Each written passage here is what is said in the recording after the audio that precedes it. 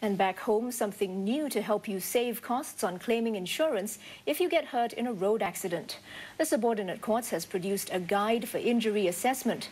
It gives potential claimants an indication of how much they can claim. This could help various parties reach a quicker and fairer settlement and even save on legal costs.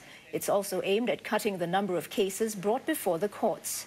A scheme allowing consumers to resolve non-injury motor accident disputes with insurers has also been tweaked. The claim limit has been raised from $1,000 to $3,000. All this comes amid concern over escalating motor insurance premiums. The National